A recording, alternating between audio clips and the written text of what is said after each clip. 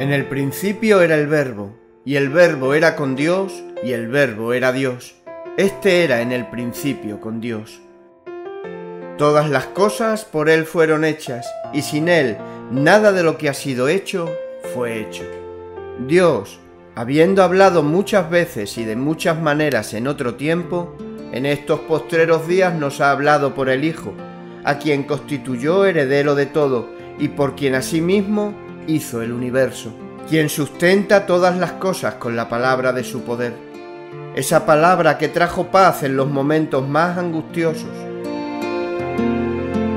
La misma palabra que trajo juicio a los imperios y reinos más poderosos de la historia. La palabra que trae vida para que en el día de Cristo podamos gloriarnos de no haber corrido en vano ni en vano trabajado y sobre todo una palabra que trae salvación por medio del Evangelio de Jesucristo. Desde Radio Luz a las Naciones queremos ofrecerte cada domingo en directo la palabra de Dios traída de la mano de nuestros hermanos en la fe para edificar y dar aliento a todos los oyentes.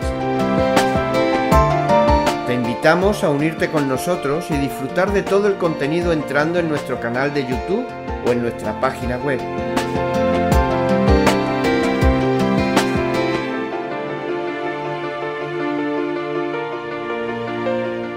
Bienvenidos a la palabra de Dios.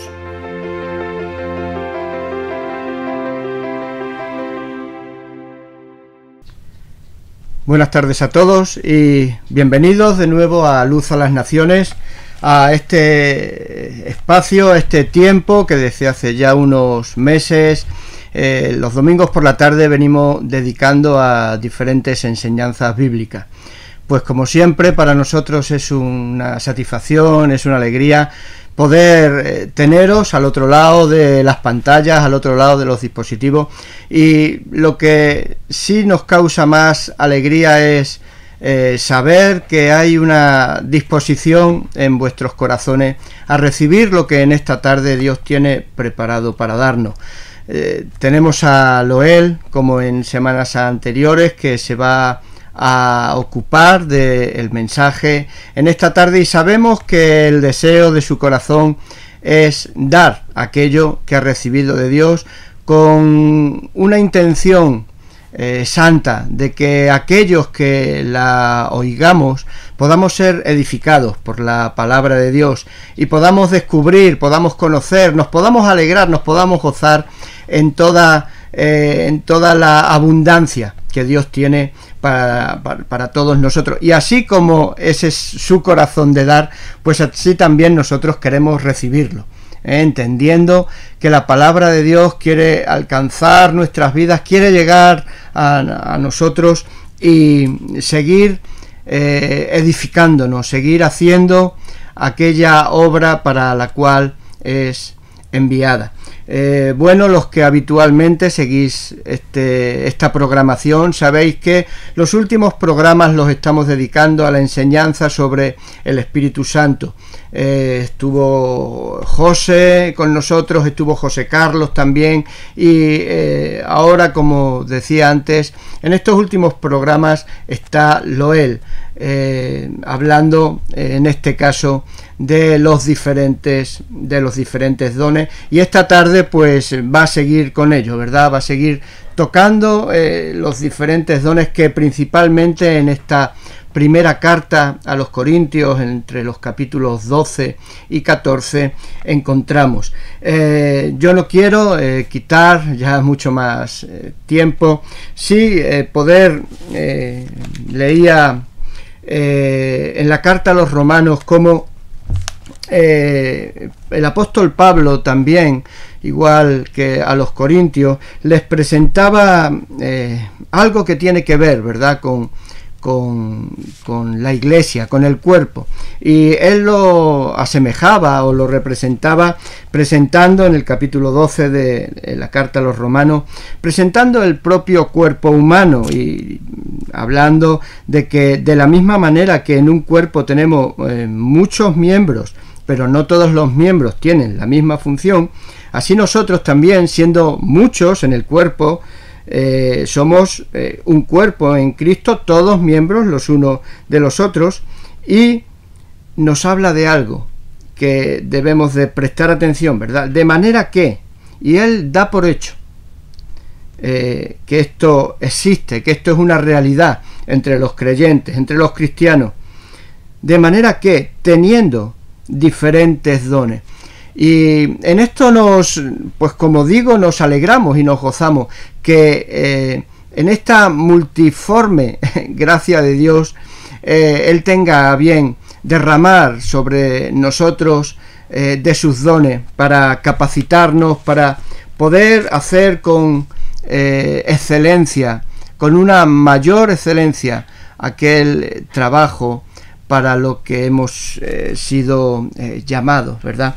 Entonces, bueno, pues eh, simplemente quería dejar estos o este versículo para que pudiéramos, bueno, pues preparar ya nuestro corazón para recibir la palabra de Dios que ya al otro lado, Erloel está dispuesto para transmitir y bueno, sin más, eh, damos la bienvenida a Loel en este domingo. Loel, buenas tardes.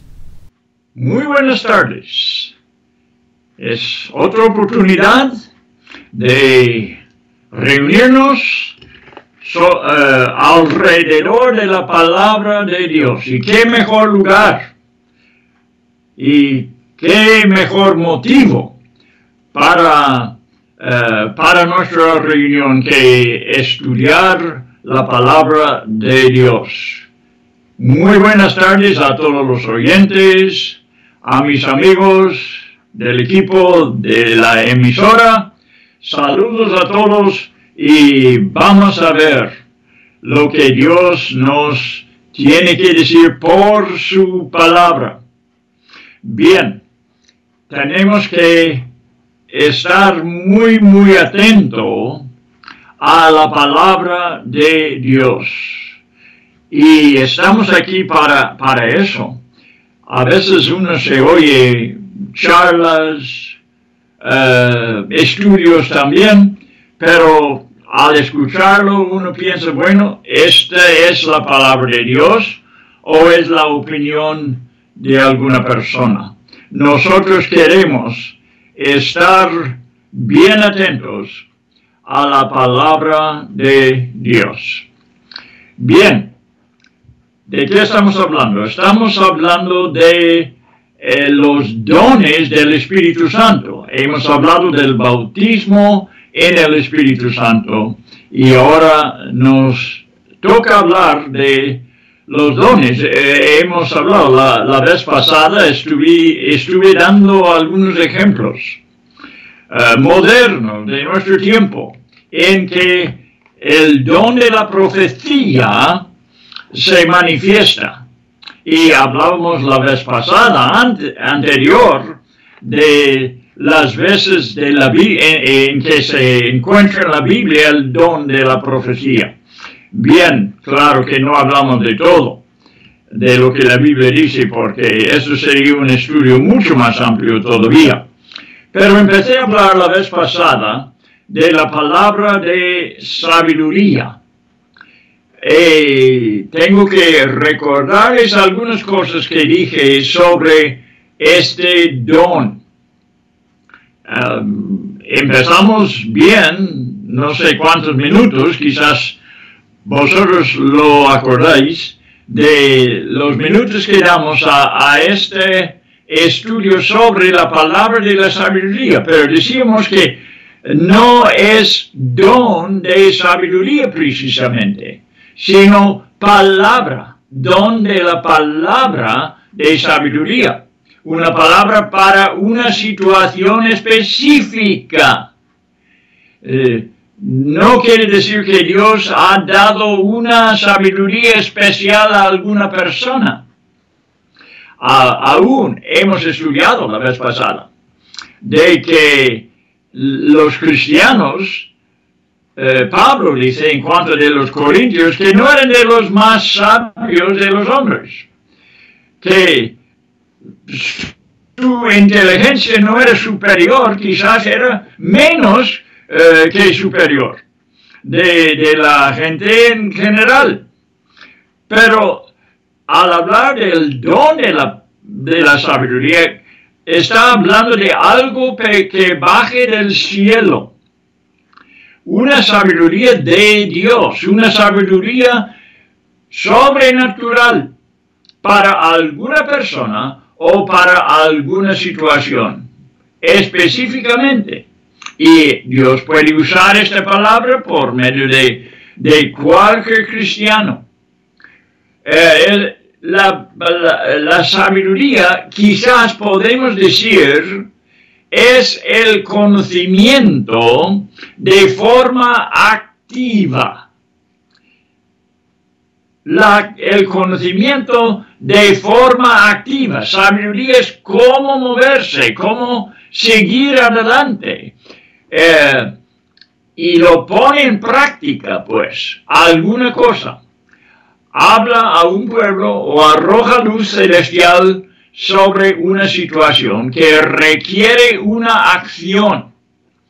Bien, eh, una palabra dada de Dios directamente.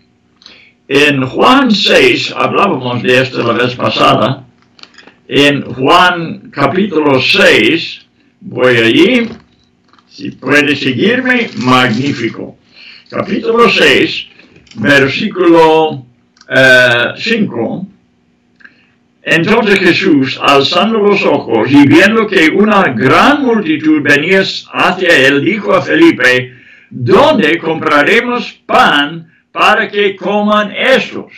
¿Qué es lo que hace falta aquí? Una palabra de sabiduría.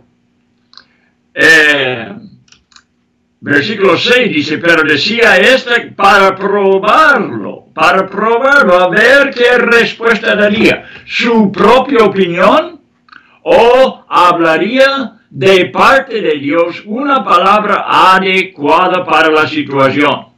Y vimos que, eh, que el, el discípulo no daba una palabra de Dios, sino una duda, mejor dicho, de su propio entendimiento de la situación.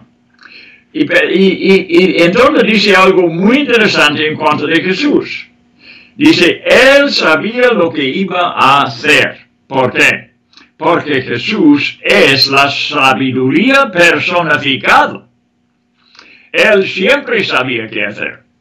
Y en este caso requiere sabiduría para alimentar a estos cinco mil hombres más sus familias. Entonces, eh, Jesús no necesita una palabra de sabiduría, aunque lo pueda dar él a sus discípulos. Y eso es lo que hizo. Les dio la palabra de sabiduría para la situación y lo que tenía que pasar en este momento. Él bien sabía. Ahora, esto es para distinguir entre lo que es la sabiduría en general de Jesús, que siempre sabía qué hacer porque era perfectamente sabio, omnisciente aún. y, la, y la sabiduría, o la falta de sabiduría, de los discípulos y la palabra de sabiduría es lo que Jesús dio a sus discípulos, lo que deben hacer en esta situación. Hablé un ejemplo de una iglesia construida ah, por nativos la vez pasada. No lo voy a relatar de nuevo, pero este fue un caso de una palabra de sabiduría por el momento. Bien, vamos a seguir adelante ah, con algunas cosas que leímos de la Biblia en Hechos capítulo 10 podemos ver el don de la palabra de sabiduría 19, 10, versículo 19 y 20. Una palabra aquí que necesitaba Pedro. Y mientras Pedro meditaba sobre la visión, el Espíritu le dijo, ¿qué le dijo? Una palabra de sabiduría, algo que Pedro necesitaba saber en el momento porque no sabía cómo hacer su trasfondo humano, no le indicó lo que debía hacer en este momento. Así que recibió una palabra de sabiduría. La religión de Pedro prohibía que él hiciera lo que tenía que hacer en este instante. Y ah, llamando, a ver, ah, y mientras Pedro meditaba sobre una visión que había tenido, el Espíritu le dijo, le dio una palabra de sabiduría. Mira, tres hombres te buscan. Levántate pues, desciende y no dudas en acompañarlos, porque yo los he enviado. Palabra de sabiduría, seguramente. Pedro ya sabía qué hacer cuando llegara estas tres personas. Entonces, en capítulo 16 de los Hechos, todo este capítulo habla de un viaje que Pablo inició sin saber el destino. un poco eh, curioso, ¿no? Para nosotros. Empezar una, un viaje sin saber cuál fue fuera el destino. Pablo no sabía, su equipo no sabía, pero andaban por fe necesitaban una palabra de sabiduría. Y en capítulo 16, versículo 9, eh, nos lo da. Por la noche se le mostró a Pablo una visión. Un hombre de Macedonia estaba de pie, suplicándole y diciendo, pasa a Macedonia y ayúdanos. ¿Qué es eso? Una palabra de sabiduría que vino por un sueño. Puede venir en distintas maneras, pero es una palabra para dar una respuesta a cierta situación. ¿Dónde vamos en este caso? Y la respuesta vino por medio de este sueño. En capítulo 18, en los Hechos, versículo 9 hasta 11. Y por medio de una visión durante la noche, el Señor dijo a Pablo, Aquí hay otro sueño, una visión. No es un sueño, es una visión durante la noche. El Señor dijo a Pablo, no temas, sigue hablando y no calles, porque yo estoy contigo y nadie te atacará para hacerte daño, porque yo tengo mucho pueblo en esta ciudad, una palabra de sabiduría, lo que debía hacer Pablo en Corintios exactamente en este instante. Tenemos esto en el caso de Eliseo. Vamos a ver esto en el Antiguo Testamento, ah, la palabra de sabiduría. ¿Qué hacer en cierta situación? Segundo de Reyes, capítulo 4, versículo 3. Entonces, eh, este se trata de una mujer de los, eh, entre las mujeres de los hijos de los profetas. Clamó a Eliseo diciendo, tu siervo, mi marido, ha muerto y tú sabes que tu siervo temía al Señor y ha venido el Creador a tomar a mis dos hijos para esclavos suyos. Estoy empezando con versículo 1 para que sepa el trasfondo aquí. Y Eliseo le dijo, ¿qué puedo hacer por ti? Dime qué tienes en casa. Y ella respondió, tu sierva no tiene en casa más que una vasija de aceite. Tiene que ver con qué recursos pueda resolver este problema. Ahora podemos decir lo mismo como en el caso de, uh, de Felipe y el Señor. ¿Qué debemos hacer? El Señor sabía qué hacer. Aquí la misma cosa. la, la mujer no sabía qué hacer. Elías naturalmente no sabía qué hacer, pero a la mujer la fue dada una palabra de sabiduría. Veremos. Entonces él le dijo, ve, pide vasijas prestadas por todas partes de todos tus vecinos, vasijas vacías, no pidas pocas.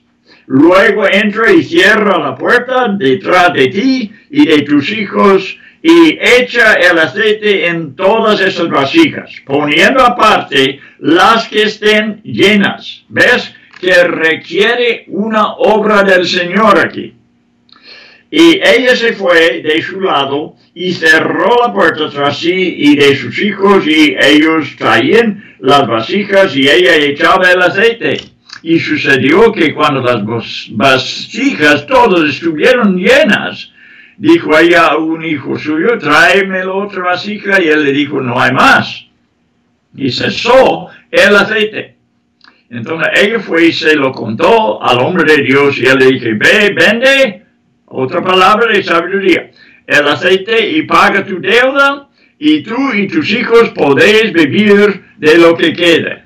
El Señor le dio la manera milagrosa, sobrenaturalmente, de resolver el, problema y la razón y, entonces la forma práctica de librar a sus hijos de una esclavitud segura si no pagaría el deuda, la deuda. Bien, este es un caso. Otro caso está en capítulo 5 de Segundo de Reyes y este tiene que ver con ah, Uh, a ver, versículo 10, capítulo 5, versículo 10. Uh, esto tiene que ver con la, el, leproso general del el ejército enemigo. Se llamaba Naamán. Y él vino a Eliseo con su lepra quería ser sanado, pero necesitaba antes de la sanidad una palabra de sabiduría. ¿Qué hacer? ¿Qué hacer? Y Eliseo le dijo que no vamos a leerlo todo, que se lavara en el río Jordán siete veces que se sumergiera en el río y eh, se sanaría. Y eh, por fin Naamán, aunque no quiso hacerlo al principio, no quería humillarse, pensaba que el Jordán no era un río digno de su cuerpo y pensaba en los ríos de su nación, de Siria. Y bueno, sus siervos que estaban con él le dieron un buen consejo, que no era tan difícil sumergirse en el río Jordán. Si hubiera sido una cosa difícil, lo hubiera hecho para comprobar qué capacidad tenía. Ese es un problema que los cristianos muchas veces tenemos. Y gente no cristiana. ¿Cómo puedo ser salvo? Por creer en la obra de Jesucristo. Y ellos dicen, no, es demasiado fácil. Yo quiero hacer algo. Y entonces se esfuerzan a hacer muchas diferentes obras para poder salvarse. Como si ellos supieran mejor que el Señor, como si ellos pudieran mejor que el Señor. Es un orgullo. Es un orgullo y este estorba a muchas gentes para que no creen el Evangelio. La salvación es una dádiva de Dios, es un don de parte de Dios. Bueno, esto me meto en el estudio que estamos haciendo aquí. Ven, ¿Qué más? Ah, capítulo 6, versículos 5 hasta 7, habla de una hacha. Una hacha prestada que, a ver, eh, pero sucedió que cuando uno de ellos, uno de los hijos de los profetas, que estaban haciendo una casa más grande para, para sí, para, para los hijos de los profetas, pero sucedió que cuando uno de ellos estaba derribando un tronco, el hierro del hacha se le cayó al agua y gritó y dijo, ah, Señor mío, era prestado. Entonces el hombre de Dios dijo, ¿dónde cayó? Y cuando le mostró el lugar, cortó un palo y lo echó allí y hizo flotar el hierro. Y dijo, tómalo. Y él extendió la mano y lo tomó y, bien pudo volver el, el hacha a su dueño. Pero necesitaba una palabra de cómo hacerlo. Fue al profeta y el profeta puso en acción lo que tenía que hacer y claro, como es una obra de Dios, una palabra de Dios, es una palabra sobrenatural. Bueno, estas cosas creo lo había mencionado en uno de los dos últimos estudios.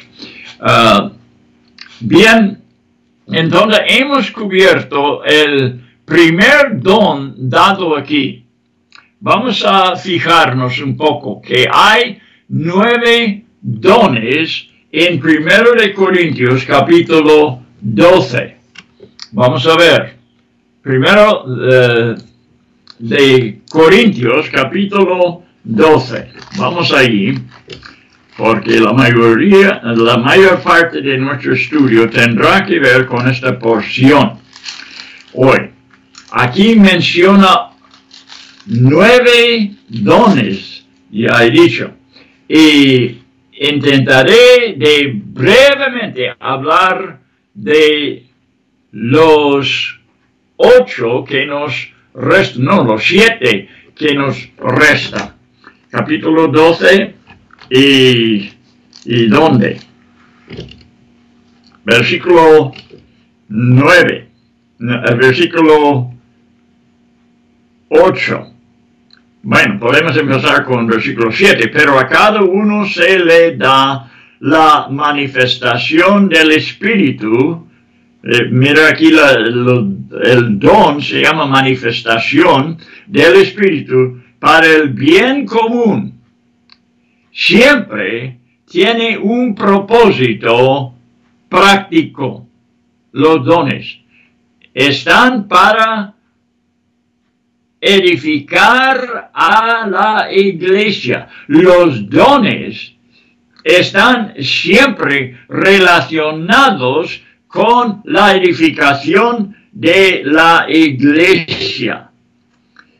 Pues a uno le es dada palabra de sabiduría por el Espíritu, a otro palabra de conocimiento, dos son según el mismo Espíritu, a otro, la tercera cosa, fe por el mismo Espíritu, a otro. Dones de sanidad, son cuatro, por el único Espíritu, y a otro poder eh, de milagros, cinco.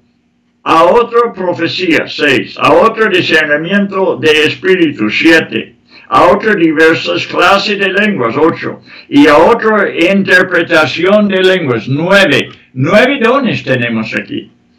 En, en uh, versículo, a ver dónde está, 27 y 28, dice, Ah, ahora bien, vosotros sois el cuerpo de Cristo y cada uno individualmente un miembro de él. Está hablando de la iglesia aquí y los miembros de la iglesia.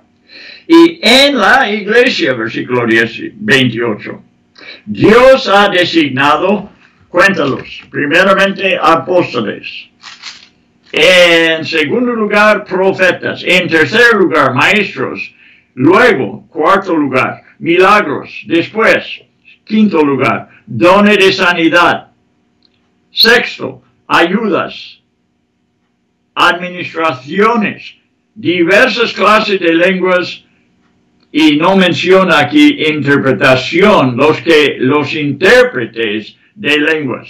Pero son aquí, se menciona nueve ministerios.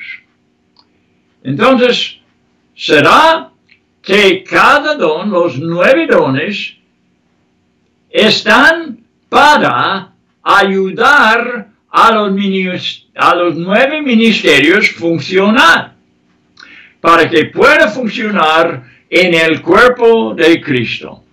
Este es el tema que da Pablo aquí en este capítulo. Dones del Espíritu para poder funcionar sobrenaturalmente los ministerios en la iglesia. Ya hemos hablado suficiente de la necesidad de una obra sobrenatural en la iglesia, porque la iglesia es, número uno, espiritual, número dos, celestial, porque los miembros han nacido de nuevo, de arriba. Tercer lugar, tiene que ser eh, sobrenatural porque la misma iglesia es sobrenatural. No hay una manera de funcionar en la iglesia y hacer funcionar a la iglesia con cualquier ejemplo, patrón que hay en esta tierra. No hay una manera en la tierra que nos enseñe cómo funcionar en la iglesia. La iglesia es única, es celestial y Dios tiene que dar la facultad para poder funcionar en su reino. Ahora, vamos a meternos en los dones particularmente mencionados aquí en uh, Primero de Corintios 12. La segunda es palabra y nota que es palabra de conocimiento. No es conocimiento en general, es una palabra de conocimiento, algo que se necesita saber para eh, en el momento, para una situación. Eh, es palabra de conocimiento.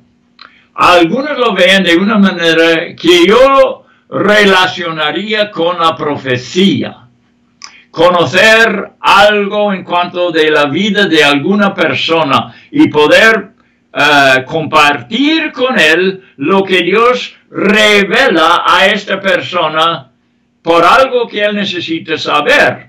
Yo digo, yo relacionaría esto con la profecía, un ejemplo de la profecía.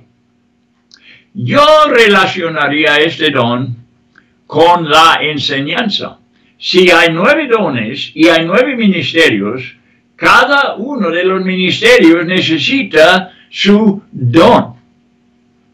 Eh, cuando eh, eh, quiero acreditar un libro que leí hace muchos años que me enseñó algo sobre el próximo don, esto del don de conocimiento, o ciencia, dice en Reino Valera.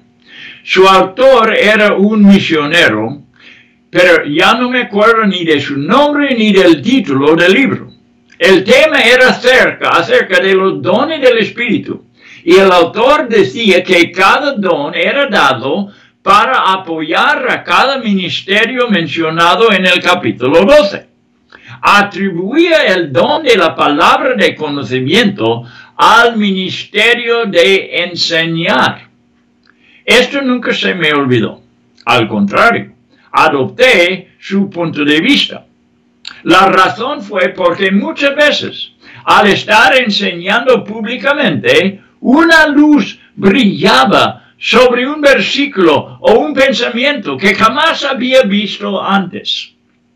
Incluso después de haberlo estudiado por muchas horas. Además, Después de investigar bien el asunto, encontré que la idea era sólida bíblicamente. Considero esta luz espontánea como el don de la palabra de conocimiento o ciencia. Está muy claro en toda la Biblia que los escritores, claro, recibieron una luz celestial para enseñarnos aunque sus dones fueron especiales en el sentido de que les fue dada una palabra perfecta y inerrante, eran inspirados divinamente. Te recomiendo Hebreos capítulo 7 como un tremendo ejemplo de cómo el Espíritu Santo les dio luz a los apóstoles para poder darnos el Nuevo Testamento. Pero es, sirve como un ejemplo para darnos una idea de cómo es una palabra de sabiduría. Algo que mientras uno enseña una palabra bíblica correcta, pero sobrenatural, da conocimiento y claridad directamente de Dios sobre la escritura. Me ha pasado. Cosas que no he pensado, pero al momento de dar la palabra a una congregación, algunas personas, se me alumbró el Espíritu Santo la palabra de forma que pude darlo de forma muy sencilla y de forma muy clara, de una forma que yo jamás lo había pensado. Una palabra de conocimiento. Eh, está muy claro en toda la Biblia que los escritores recibieron una luz eh, para poder enseñar. Y, esto es lo que veremos aquí en, en capítulo 7 de Hebreos. Claro, no vamos a poder cubrir todo el capítulo. Solo quiero dar una idea. Está hablando aquí de Melquisedec. Y fíjate cómo el, la palabra, versículo tras versículo, muchas palabras aquí, de conocimiento. En cuanto de Melquisedec, rey de Salem, sacerdote del Dios Altísimo, salió al encuentro de Abraham cuando éste regresaba de la matanza de los reyes y lo bendijo.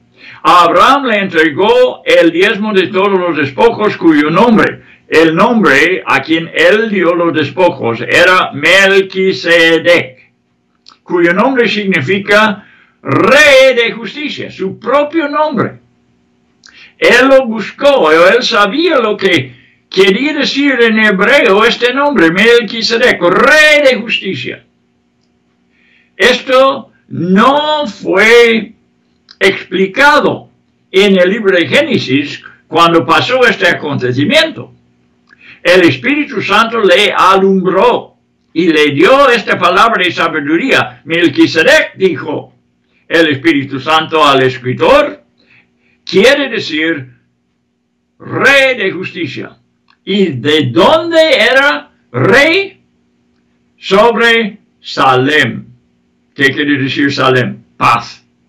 Y dijo, y luego también rey de Salem. Esto es rey de paz. Palabra de conocimiento. ¿Ves? Alumbrado. Todo estaba ahí escrito, pero él tenía que recibir luz para poder escribir este capítulo 7. Y hay muchos ejemplos. Este capítulo me gusta en cantidad por la manera que le fue dado luz. Ahora, eh, también él nota no solamente lo que fue escrito, sino lo que no fue escrito. Sea una genealogía. Melquisedec no lo tenía.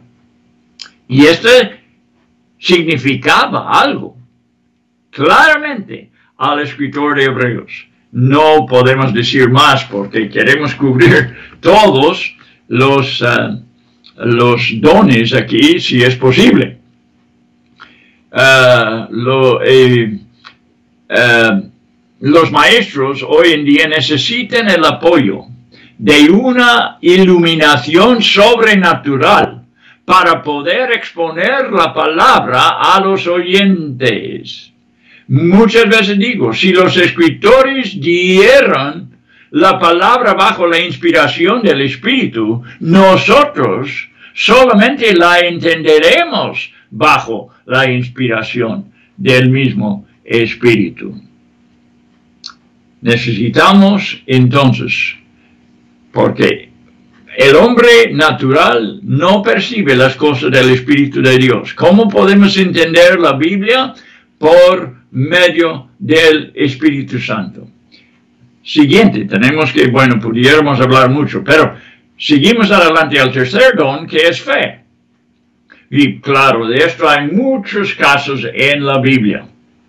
En, en 2 de Corintios 8, eh, 2 de Corintios 8, versículo 3, dice, porque yo testifico que según sus posibilidades y aún más allá de sus posibilidades, dieron de su propia voluntad está hablando de la iglesia en Macedonia.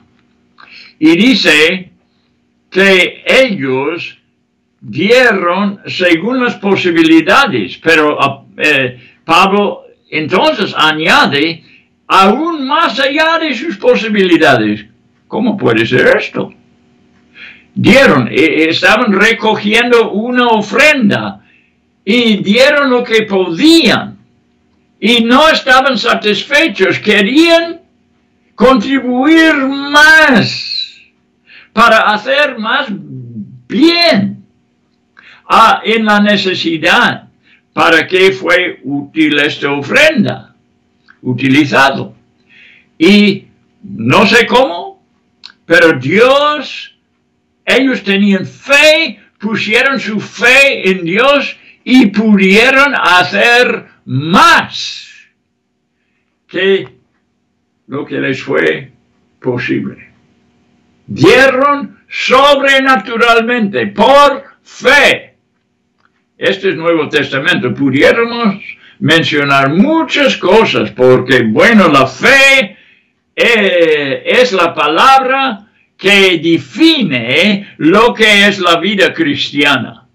Andamos por fe para poder ayudar de una manera significante los, las iglesias en Macedonia pudieron moverse por fe. Esdras, capítulo 8, versículo 22. Quiero que vean este caso de el sacerdote Esdras, que también era un escriba la Biblia lo define así como una escriba. Y en Esdras capítulo 8, versículo 22, dice, eh, tuve, está hablando Esdras mías, tuve vergüenza de pedir al rey tropas y hombres de a caballo para protegernos. Seguramente el rey le hubiera dado caballos y, hombres para protegerlos les, del enemigo, protegerles del enemigo en el camino. ¿Por qué tenía vergüenza de pedirlo? Porque mira, pues habíamos dicho al rey, la mano de nuestro Dios es propicio para con todos los que le buscan, mas su poder y su ira contra todos los que le abandonan. Ayunamos pues y pedimos a nuestro Dios acerca de esto y Él escuchó nuestra súplica. Ellos tenían fe para poder hacer el viaje desde Babilonia hasta Israel sin ninguna protección porque ellos habían dicho al rey, no, no, no, no, no, no, Dios es nuestro protector, Él nos cuidará. Y ellos ejercitaron fe para ser un testimonio al rey. Em, fe entonces es para la protección.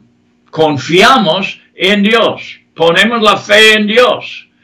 La fe se necesita para las cosas financieras. Pudiéramos hablar de Jorge Miller, George Miller, por un gran tiempo, mostrar cómo él pudo funcionar por fe. ¿Qué es su ministerio? Cuidar a huérfanos. Y dejaban entrar eh, eh, en su orfanatorio eh, eh, dos mil huérfanos y no tenía ingresos.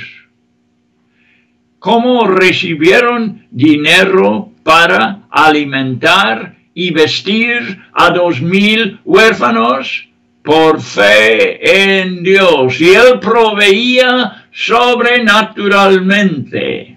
Ay, como pudiéramos contar historias de cómo Dios estaba con George Miller y él confiaba solamente en Dios. No habló de sus necesidades a otras personas, sino solamente habló con Dios.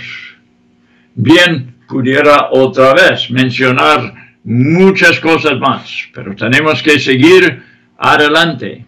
Quizás puedo rápidamente mencionar que un autor famoso de su día, en el momento no lo tengo escrito aquí su nombre, se me olvida, pero es famoso porque escribió de la vida de los huérfanos precisamente en las calles de Londres.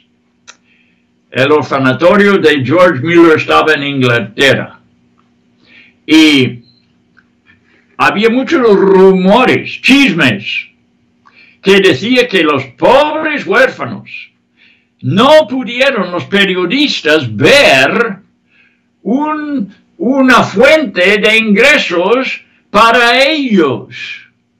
Y por eso los chismes eh, abundaban, diciendo que los pobres huérfanos no tenían suficiente para comer y estaban pobremente vestidos. De modo que este autor fue a ver el, eh, a, los huérfanos, fue a la casa y tocó la puerta sin anunciar ni avisar de su venida. George Miller mismo contestó a la puerta y le dejó entrar y dijo, mira donde tú quieras, examina todo.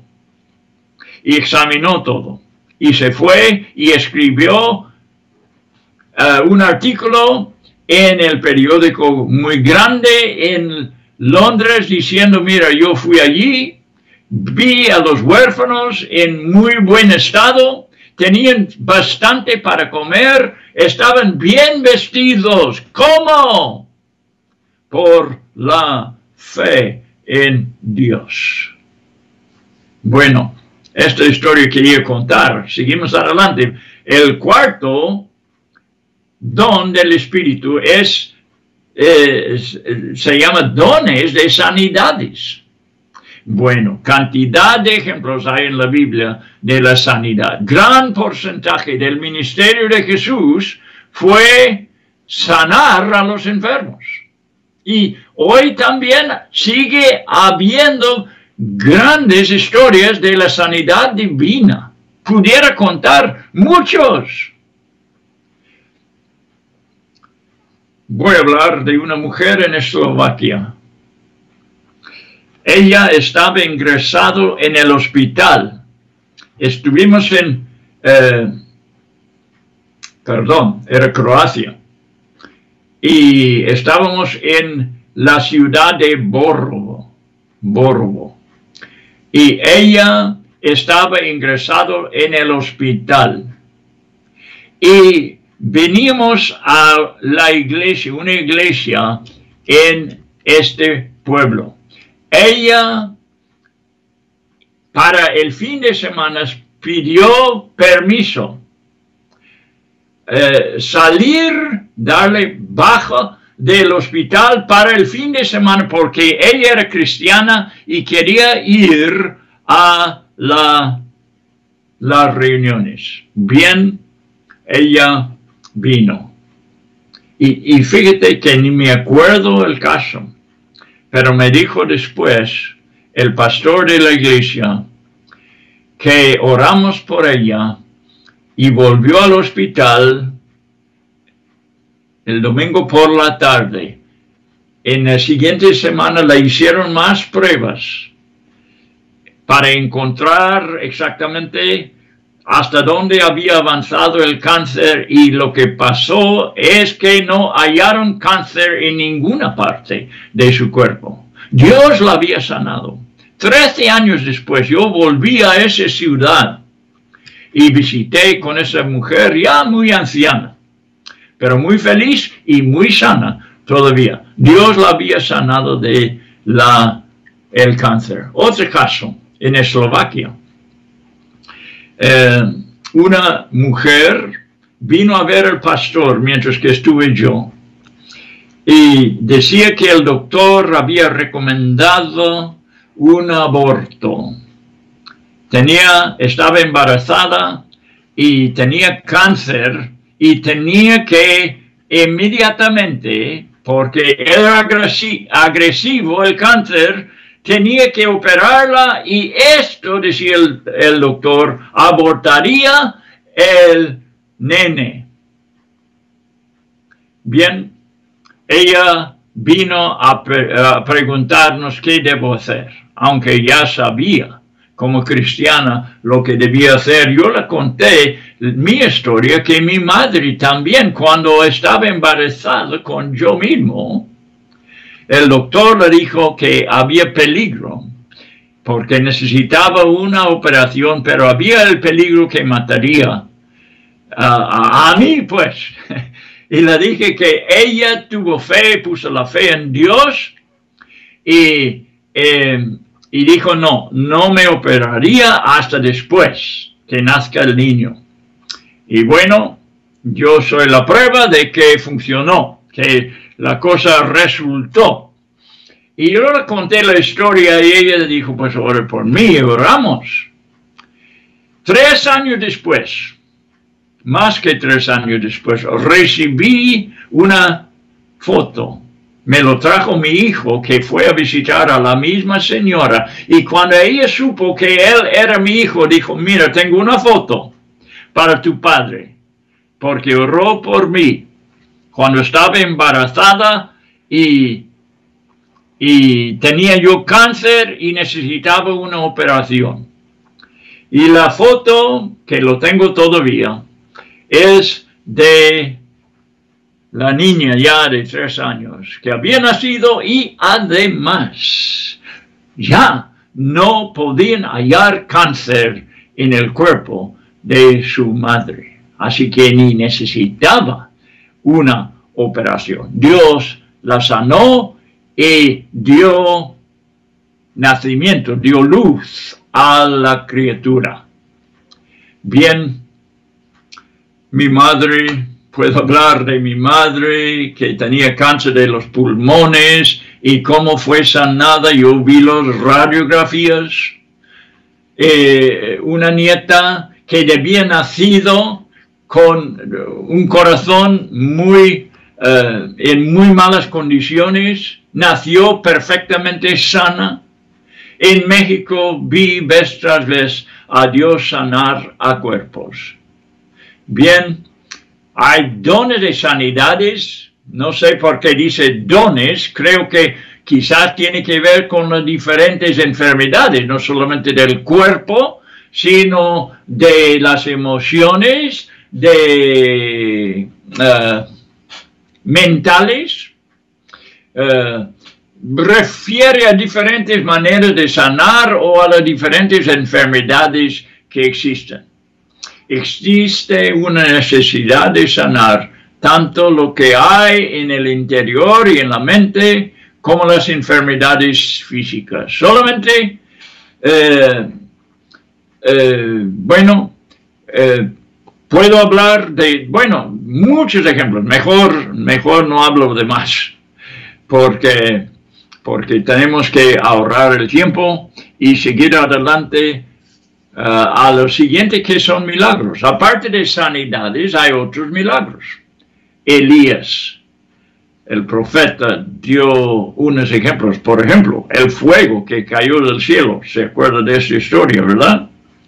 Cuando él oró sencillamente a Dios y Dios hizo un milagro. Cayó el fuego y, sobre un altar totalmente mojado con agua alrededor y el fuego que cayó del cielo consumió hasta el agua.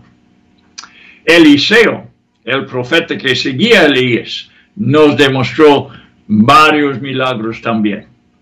Cantidades más en toda la Biblia, porque Dios es el Dios de milagros. sobrenatural. Algo que pasa sobrenaturalmente demuestra que Dios está presente. Y no solo el hombre haciendo lo posible. Dios haciendo lo que es imposible. Sigue haciendo milagros hoy. Y como Pablo lo menciona, aparte de los dones de sanidad, creo que aquí se trata de otros milagros, como los muchos que obró Jesús en los evangelios. Cambiar el agua en vino, andar sobre el agua, hallar una moneda en la boca de un pez. Todos ellos demuestran los diferentes y diversos milagros que pueden ocurrir. La protección divina y la provisión financiera pueden ser milagrosas también. Había un hombre llamado Rhys Howells, de un galés, que después de la Segunda Guerra Mundial, el mismo primer ministro Winston Churchill le escribió dándole las gracias por sus oraciones, porque el primer ministro consideró las oraciones de Howells y sus compañeros responsables por que Dios cuidó a Inglaterra de los nazis. Bien, muchos reconocieron que era una mano invisible que protegió a Inglaterra y no permitió que los nazis lo, la invadieran hemos hablado ya del don de profecía y la razón era porque es tan prominente en la Biblia. Yo hablé de eso primero y también porque Pablo dijo que debemos anhelarlo intensamente. Lo que sigue es eh, el don de discernimientos de espíritus. En Hechos capítulo 16, Hechos capítulo 16 y versículo 16, Pablo, Pablo está en, en eh, Macedonia, en la ciudad de Filipos. Y vamos a leer versículo 16. Y sucedió que mientras íbamos al lugar de oración, nos salió al encuentro una muchacha esclava que tenía espíritu de adivinación, la cual daba grandes ganancias a sus amos adivinando. Bueno, Pablo no sabía nada de eso. Pero este siguiendo a Pablo y a nosotros gritaba diciendo, estos hombres son siervos del Dios Altísimo, quienes nos proclaman el camino de salvación. Si no tuviera Pablo la, el don, en este instante, el don de discernimiento de espíritus, quizás hubiera dicho, ay, qué bueno, Dios está proviendo a alguien aquí para que ellos, para que estos paganos nos consideren que somos sus siervos. No, no, Pablo no estaba nada contento. Y esto lo hizo por muchos días, más desagradando esto a Pablo, se volvió y dijo al Espíritu, te ordeno en el nombre de Jesucristo que salgas de ella. Él diseñó un espíritu en ella, un espíritu malo, y le mandó fuera y salió en aquel mismo momento y ella perdió su poder de adivinación.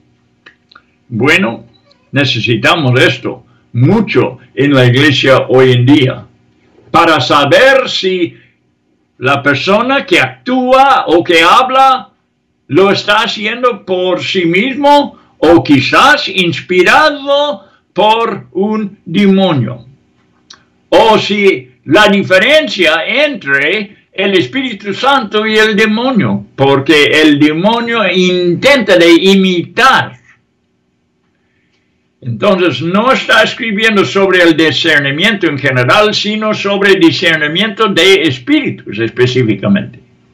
El don distingue entre lo que es una legítima manifestación espiritual y lo que no lo es.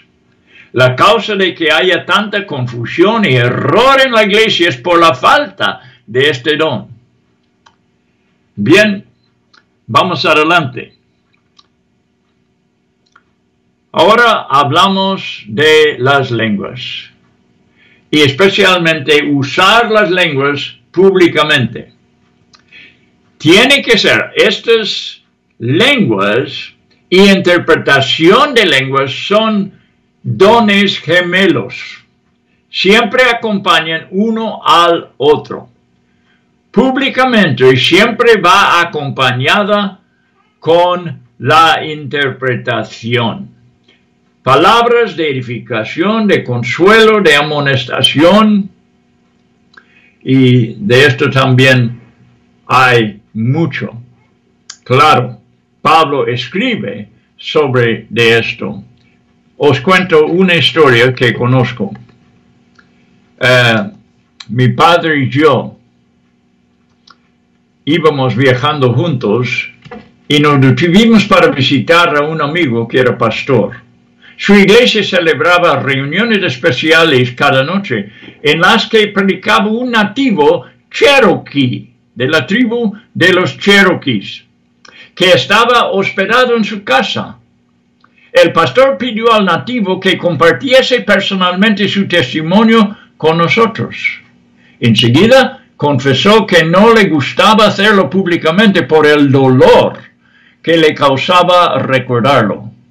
Pero nos contó en un relato violento de su tiempo de adicción a la heroína.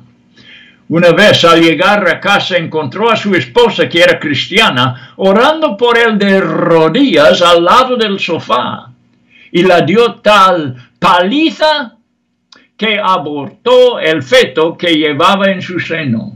Incapaz de aguantar su culpabilidad, después del incidente intentó suicidarse, cortándose las venas. Por falta de sangre cayó inconsciente y despertó en un hospital. Por fin, pudo entender la desesperación de su condición espiritual. Se humilló y empezó a asistir a la iglesia de su esposa. Después de una reunión el pastor le preguntó si no se ofendería si todos oraban, orasen por él. Entonces les concedió permiso y toda la congregación le rodeó. Durante la oración oyó a alguien orando una hermosa alabanza en su propio idioma cherokee se sorprendió porque no se había dado cuenta de que en la pequeña congregación hubiera otro Cherokee presente. Al girar la cabeza en dirección a la voz, vio que la que hablaba era una mujer blanca. Se asustó de tal manera que inmediatamente se fue corriendo de la iglesia. Sin embargo, pocos días después se rindió a Cristo y llegó a ser un predicador del Evangelio. De hecho, viajaba con David Wilkerson durante el tiempo eh, eh, con él y, con él eh, Leonard Ravenhill. Ministraban juntos en, New York y otros lugares. Bueno, un ejemplo de las lenguas como leemos en el libro de Hechos. Bien, hay mucho que enseñar sobre este tema no tenemos mucho tiempo que nos resta, pero eh, vamos a, ver algunas cosas sobre las lenguas y las interpretaciones de las lenguas. Dice la Biblia que en la iglesia no se debe hablar en lenguas, que las lenguas son para las devociones personales de las personas, a menos que hay un intérprete o que la misma persona pudiera interpretar. Es digna de nuestra consideración la opinión de que el don de lenguas es la manifestación sobrenatural de lenguajes humanos, como lo fue en el día de Pentecostés. Y las personas que opinan así añaden que el propósito de este don era para predicar el Evangelio a los incrédulos. Sin embargo, la audiencia de aquel día eran judíos, que obedeciendo el mandamiento del Antiguo Testamento habían llegado desde todas las naciones a Jerusalén para la fiesta. Todos hablaban hebreo. Algunos dirán que el milagro de aquel día sucedió en el oyente, más que en la expresión de los que hablaron. Yo añadiría solamente que los 120 empezaron a hablar en lenguas antes de que los oyentes llegaran para escucharlos. Y el contexto no afirma que estuvieron predicando el Evangelio en lenguas extrañas, más bien estaban alabando a Dios. Les oímos hablar en nuestras lenguas las maravillas de Dios. Bueno, ahora sí, voy a llegar al final de este estudio uh, en, cuanto de uh, los dones del Espíritu en general. Debemos tener una expectativa de que Dios se mueva realmente entre nosotros. Cristo es la cabeza de la iglesia. Y siendo así, tenemos que darle las riendas para que por medio del Espíritu dirija las funciones de la iglesia en general y también tome la dirección en cada reunión de los creyentes. Normalmente, debido a un programa bien planeado o a un tradicionalismo practicado sobre los años, no se le dé oportunidad no se le da oportunidad para que lo haga. Hemos llegado a justificar tal ritualismo entre el cuerpo de creyentes que ignoramos lo que es el libre mover de Dios.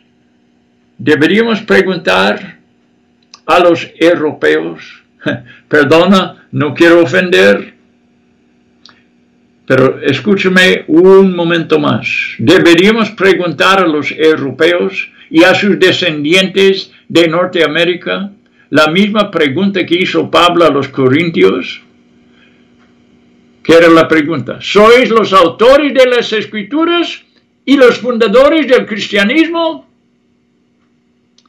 La respuesta correcta es no.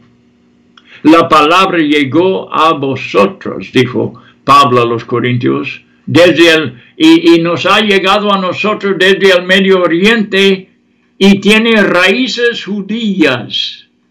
Nuestro Señor, según la carne, era judío, hijo de David, que no actuó descorde a la cultura de su pueblo al, eh, al hacer lo que hacía. Cada uno de nosotros que somos gentiles hemos sido injertados al olivo nativo de los judíos.